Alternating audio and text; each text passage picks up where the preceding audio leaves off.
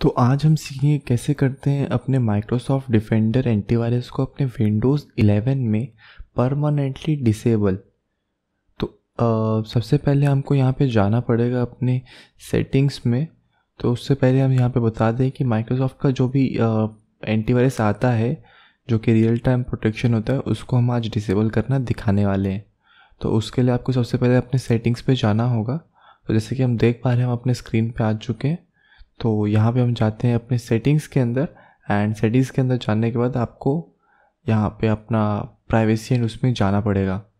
तो बहुत ही आसान तरीके हैं सभी। आपको यहाँ पे फॉलो करने पड़ेंगे। तो ध्यान से देखिएगा और जानिएगा कैसे करते हैं अपने माइक्रोसॉफ्ट डिफेंडर को डिसेबल तो यहाँ पे हम सर्च बार पे आ चुके हैं। यहाँ पे सबसे पहले आपको यहाँ पे सेटिंग्स टाइप करना पड़ेगा। सेटिंग टाइप करने के बाद आप यहाँ पे जैसे कि देख पा रहे हैं, यहाँ पे हमारा सेटिंग आ चुका है। इस पर आपको क्लिक करना है और क्लिक करने के बाद अब आप बहुत सारे ऑप्शन आपको दिख जाएँगे। तो आपको यहाँ पे जाना है प्राइवेसी एंड सिक्योरिटी पे। प्राइवेसी एंड सिक्योरिटी पे जाने के बाद आपको यहाँ पे जाना है विंडोज़ सिक्योरिटी पे और विंडोज़ सिक्योरिटी के बाद आपको यहाँ पे जिसकी देख पा रहे हो, यहाँ पे वायरस एंड थ्रेड प्रोटेक्शन लिखा गया है। तो इस पर आपको क्लिक करना है।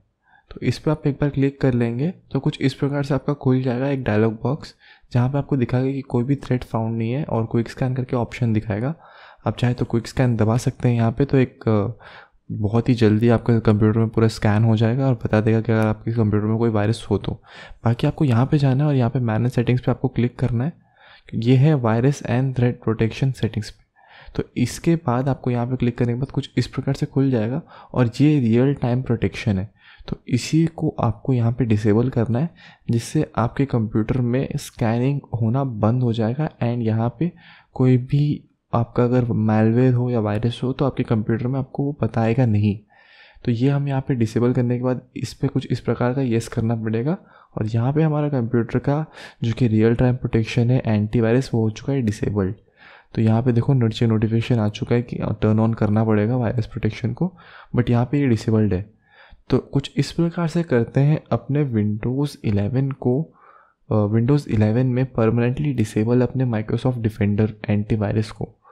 तो एक और बात बता दूँ मतलब पहले हमारे विंडोज़ में विंडोज़ uh, 8 से पहले यहाँ पे ये बिल्कुल परमानेंटली ऑफ़ हो जाता था बट अभी विंडोज़ ने बिल्कुल इसको यहाँ पे सेट कर दिया है कि हम इसको परमानेंटली डिसेबल नहीं कर सकते हैं। uh, तो पहले यहाँ पे रजिस्ट्रेशन से हो जाता था आपको मैनेज रजिस्ट्रेशन और उसमें जाके। कर लेते थे बट अभी ये हो, नहीं हो पाता है क्योंकि यहाँ पे विंडोज़ ने कर चुका है। अगर कोई अपडेट आती है तो आपको चैनल पे ज़रूर मिल जाएगी।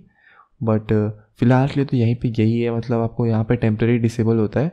मतलब एक बार आप डिसेबल कर देते हो और आपका अगर कंप्यूटर टर्न ऑफ़ होके वापस रिस्टार्ट करते हो तो ये ऑटोमेटिकली यहाँ पे ऑन हो जाता है। तो ये परमानेंट सोल्यूशन नहीं है अगर आपका विंडोज़ आपको यहाँ पे बंद करना है।